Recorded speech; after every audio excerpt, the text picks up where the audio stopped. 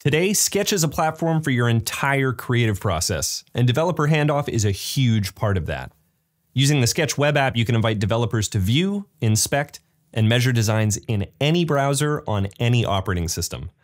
They can even download production ready assets, grab color values in whichever format they use, and the best part, you can add as many viewers to your workspace documents as you'd like for free.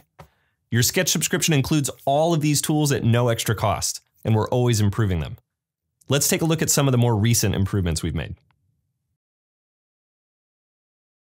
Along with starring updates to mark their importance, you can now add a description to any update to highlight key milestones or important changes in your document's history. These notes are extremely helpful for communicating what's changed as the design evolves over time, or even pointing out new patterns in a library update that are critical for devs to be aware of. When it's time to dive into the designs themselves, you can enter the brand new Canvas view.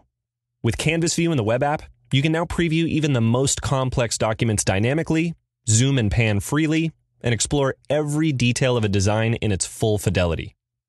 Since your collaborators can see your entire canvas, you can use the space however you'd like.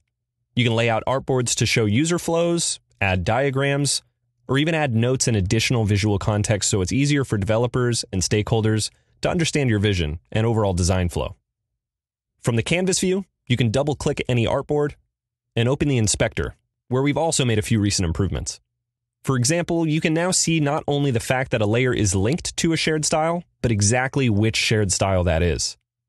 And it's much easier to identify which design elements on the canvas are symbols with a new purple bounding box around them. Clicking the name of the symbol on the canvas or the inspector will take you to an isolated view of the symbol source, even if it's located in an external library. Which brings us to yet another brand new area within the web app. This is the Components Web View, a focused view of all the symbols, text styles, layer styles, and color variables within a document.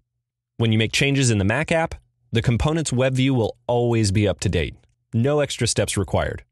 Which means your Sketch libraries expose everything your developers need from your design system automatically, and they always have the most updated source of truth. And to help turn design patterns into production ready code even faster, text styles, layer styles, and individual layers on artboards allow you to instantly copy a block of CSS code with the click of a button.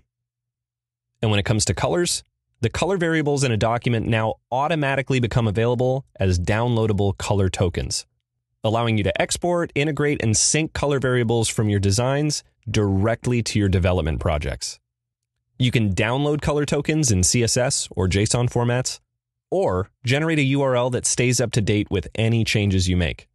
The URL can point to the color variables in the latest update to your document, or only the most recent starred update to keep developers building from the correct milestone as designs continue to evolve. Your sketch documents have never been a more versatile source of truth to keep design and development perfectly in sync.